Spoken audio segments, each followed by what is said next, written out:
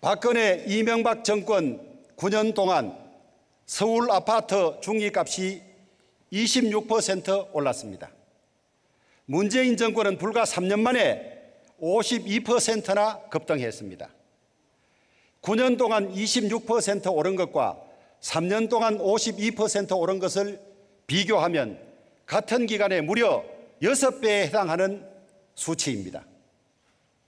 문재인 정부가 부동산 대책을 무려 22번이나 쏟아내었음에도 불구하고 집값은 여전히 치솟고 있습니다. 그럼에도 주무 장관인 김현미 장관은 정책이 잘 작동하고 있다고 하고 있고 여당 의원은 그렇게 해도 집값 안 내려간다고 하니 국민들은 분통이 터질 따름입니다.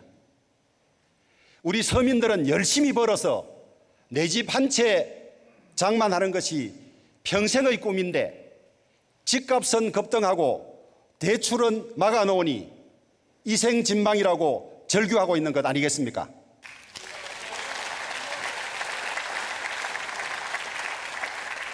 어렵사리 내 집 한 채 마련하니 이제는 종부세와 재산세 폭탄을 퍼부을 뿐만 아니라 양도세마저도 인상하겠다고 하니 도대체 이 나라에서는 집 가진 것이 죄입니까? 정작 고위직 인사들은 노른자위 땅 아파트로 막대한 시세 차익을 올려 국민들에게 분노와 박탈감을 안겨주고 있습니다. 좋은 환경과 좋은 집을 원하는 보통 국민들의 정상적인 수요를 불온한 욕망과 탐욕으로 간주해 억제하려고만 하는 문재인 정권의 아집이 부동산 대책의 대실패를 가져왔습니다. 이념과 무능으로 시장을 이길 수는 없습니다. 이 정권의 정책은 규제 강화, 공급 억제 정책입니다. 규제 완화와 공급 확대 정책이 해결책입니다. 이렇게 집값이 폭등하고 있는데도 무엇이 잘못되었는지조차 모르고 있는 김현미 장관과 경제팀을 조속히 경질하고 대통령이 직접 국민들에게 사과해야 하지 않겠습니까?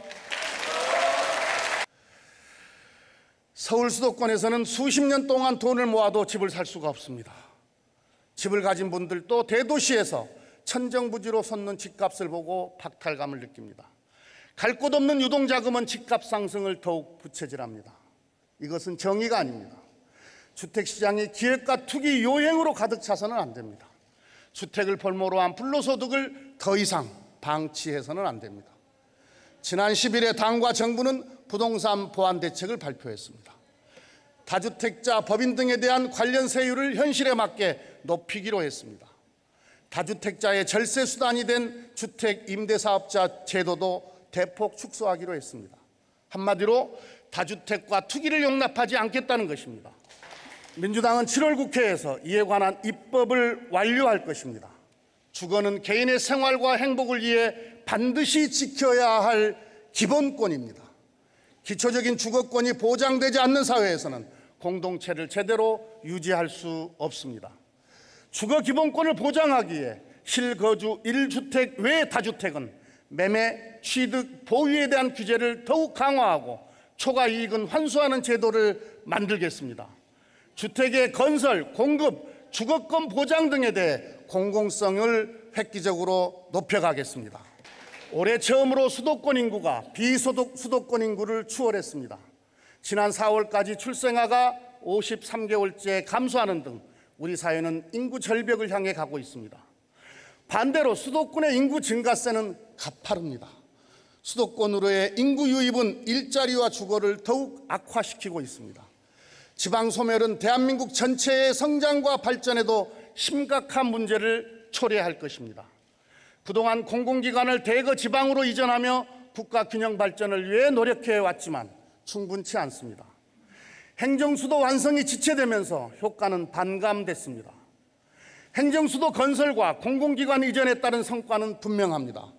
국가균형발전위원회 연구에 따르면 공공기관 이전에 따라 수도권 집중이, 집중이 8년가량, 8년가량 늦춰진 것으로 나타납니다. 다시 한번 균형 발전을 위한 새로운 모색이 필요합니다. 이를 위해 저는 행정수도를 제대로 완성할 것을 제안합니다. 길거리 국장, 카톡 과장을 줄이려면 국회가 통째로 세종시로 이전해야 합니다. 아울러 더 적극적인 논의를 통해 청와대와 정부 부처도 모두 이전해야 합니다. 그렇게 했을 때 서울 수도권 과밀과 부동산 문제를 완화할 수 있습니다.